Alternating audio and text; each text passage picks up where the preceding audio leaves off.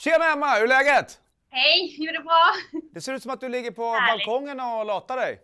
Ja, kan man väl säga. Jag vet en annan sak som du har gjort. Vad tror du att det kan vara? Jag vet inte. Du har Ja. nämligen skrapat postkodskrapet på nätet. Ja.